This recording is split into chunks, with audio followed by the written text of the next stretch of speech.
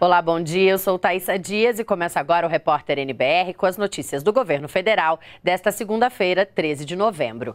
O presidente Michel Temer tem agenda no Rio de Janeiro nesta manhã. A repórter Natália Mello acompanha e traz os detalhes ao vivo para gente. Olá, Natália, bom dia para você.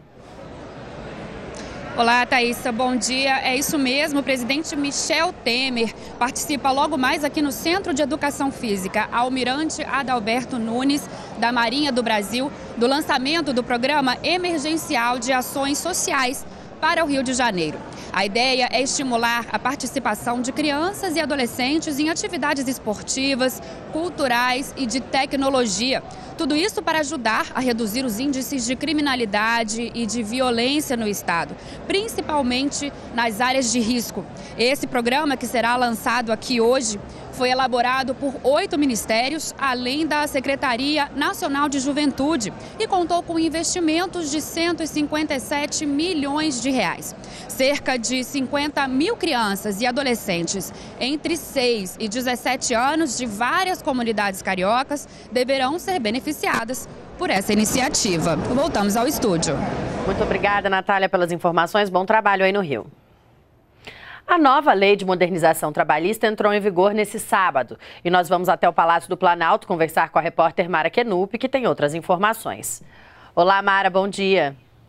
Bom dia, Thaisa. Bom dia a todos. É isso mesmo, Thaisa. A nova lei do trabalho entrou em vigor nesse final de semana e, pelas redes sociais, o presidente Michel Temer divulgou um vídeo dizendo que, com a modernização da lei, 18 milhões de pessoas que hoje vivem na informalidade vão ter seus direitos assegurados e que uma pesquisa revelou que jovens e empresários têm boas expectativas com a nova lei. Vamos ver.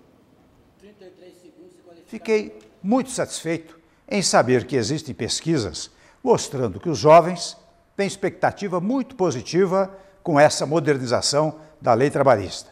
E ouço relatos de empresários que as contratações aumentarão a partir de agora. Os jovens estão certos.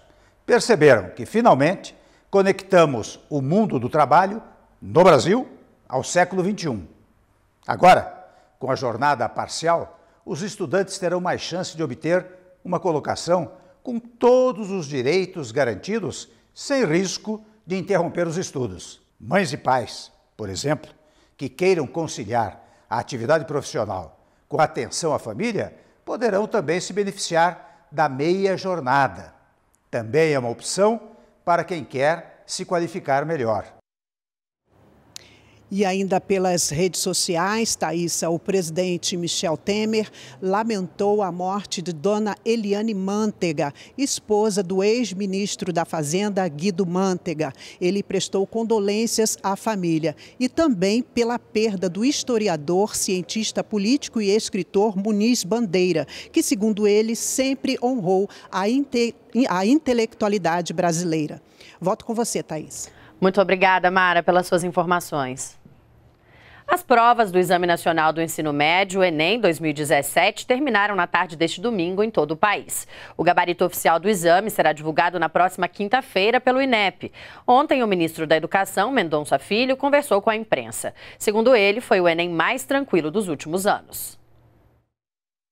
Foi o Enem mais seguro dos últimos anos e transcorreu com absoluta tranquilidade. E, eu acho que a aplicação em dois domingos garantiu um maior conforto para os estudantes de todo o país e tendo uma aprovação considerável com relação a todos que participaram do Enem 2017. 2,21%. Esse foi o valor da inflação acumulada do início do ano até o mês passado, segundo informou o IBGE. É o menor acumulado do ano para o mês de outubro desde 1998, segundo o IBGE. Já em relação ao mês anterior, a inflação ficou em 0,42%. Em setembro, o índice marcou 0,16%. De acordo com o Instituto, o resultado foi influenciado pelo aumento na conta de luz, que tem impacto significativo na renda das famílias. Na energia elétrica, a variação foi de 3,28%. Destacando-se aí que em outubro houve incidência da bandeira tarifária vermelha patamar 2, com uma cobrança adicional de R$ 3,50 para cada 100 kWh consumido. Como a energia elétrica é, tem um peso relativamente é, grande no orçamento das famílias, isso é, contribui na inflação do mês. A boa safra de 2017 continua puxando o preço dos alimentos para baixo. E embora menos intensa que nos últimos meses, a queda no grupo alimentação segue pelo sexto mês seguido. Não muda a situação que nós vivemos de inflação, ela continua baixa, continua pressionando menos o custo de vida do brasileiro, né?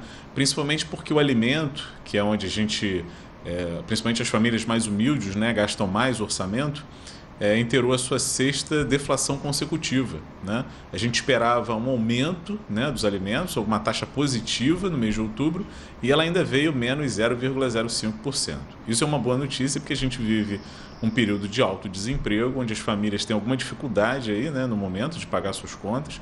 É, o alimento precisa ser comprado e se a gente tem pelo menos preços em queda né, dos alimentos, a gente leva algum alento aí para as famílias. Então, nesse sentido, a inflação trouxe uma boa notícia no mês de outubro. A expectativa do economista é fechar o ano com inflação em torno de 3%, metade do número registrado no fim de 2016, e defende a aprovação das reformas em andamento para equilibrar as contas do país. Uma situação de desafio vive o próprio mercado de trabalho. A gente está um desemprego alto, né? Vive também a questão das contas públicas, né? A gente tem um déficit público enorme, né? E a gente precisa cuidar dessa parte financeira do governo, que é, eu acho que a prioridade agora. Então, reformas em trânsito visam diminuir aí o custo da máquina pública e diminuir o tamanho do déficit, né? Que é um passo importante que a gente precisa dar para fazer o país crescer mais rápido. E o Banco Central divulgou há pouco o Boletim Focus com as projeções do mercado financeiro. A expectativa de inflação para este ano teve uma leve alteração e passou de 3,08% para 3,09%. Mas analistas e investidores mantiveram a projeção para a taxa básica de juros da economia, Selic, em 7% ao final de 2017. A estimativa de crescimento da economia também não foi alterada e ficou em 0,73%. Nós ficamos por aqui. Você pode rever as reportagens no YouTube. E toda a nossa programação também está na página da NBR na internet. Continue com a gente na NBR, a TV do Governo Federal.